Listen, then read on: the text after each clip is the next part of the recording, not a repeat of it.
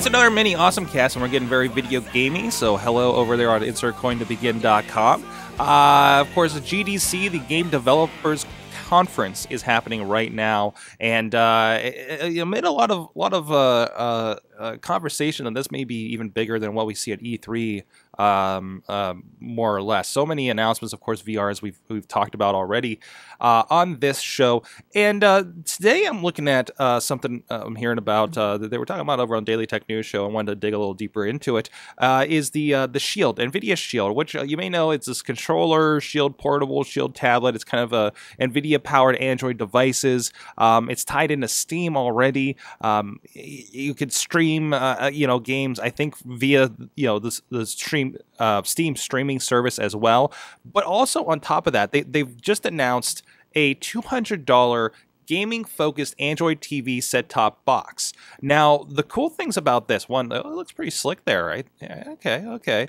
Uh, but it's also, as far as video, it's going to be the first uh, 4K streaming device for anybody out there that has that kind of thing. That's cool.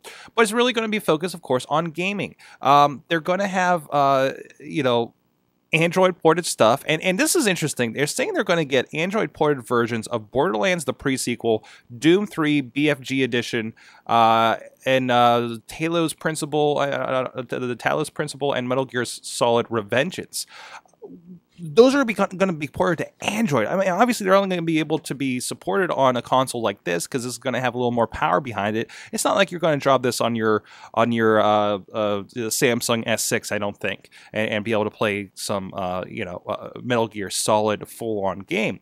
But on top of that, they announced this grid system, which I think they've been developing over over uh, the past year. But they're going to be kind of opening it up, and it's going to be a kind of online streaming subscription based service, much much like we're getting a lot with uh, PlayStation service that the, the the Gaikai technology or OnLive, and I've said several times on the on Boss Battle that this is the this could be the future, and this could be the breakdown of console gaming as we get better bandwidth and these services come come up. I mean, how many options do we have now?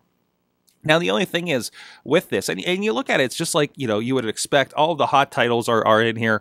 Um, in the examples they're given, like free with subscription. So you subscribe to the service. And, and, this is really interesting to me, actually, as a person that like buys a bunch of games and then like doesn't get to them. Um, and, and really kind of loving getting to the subscription kind of model when it comes to video games and, and everything else I do in life, like my comics, my videos. I mean, it's all, it's all subscription based, right? Um, then I know I'm not I'm fitting in my budget, right? Uh, but like they're showing like free with subscription, you know, stuff like Marvel superheroes, Metro Last Light, uh, Batman Arkham Origins, uh, Lego Harry Potter. So I mean, it's, it's a mix of stuff from from developers. Obviously, you're not going to get exclusive stuff. And it's whatever developers have kind of uh, uh, jumped on board with this, right? Um, but uh, and there's also option to purchase individual titles that they couldn't get licensed to on the on the free service. Uh, this is really interesting. I, I, I don't. I, I'm surprised to hear because I, I, always thought when I heard about the Shield, which was really a controller that uh, you put a it had a screen attached to it, and that's how you played these games. And now you can get a TV version too. Um, this is this is a further fracturing, I think, of console PC gaming. Uh, you're having the Steam OS come up. Uh, you're having this happen. Um, uh, you know, I, I, and I don't know that their marketing muscle going to be competitive with something with an Xbox or a PlayStation, but this is another place somebody can go. This is another option that somebody can pick up this device for 200 bucks and play a lot of the same games that are popping up over on the four or five hundred dollar consoles with the uh, Xbox and the PlayStation. Um, I think that's a very valid valid argument there. No, I don't expect this to blow anybody else out of the water, but I think it's going to take a sizable chunk out of it. And with as big as the video game industry is growing and everybody's trying to find cheaper ways to play video games, I know I am.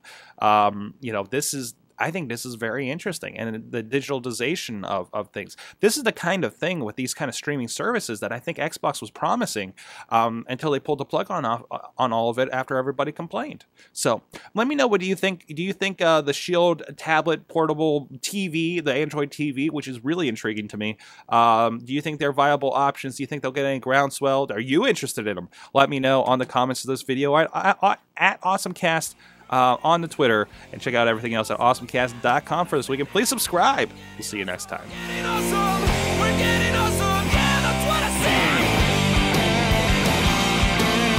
This show is a member of the Sorgatron Media Podcast Network. Find out more at sorgatronmedia.com.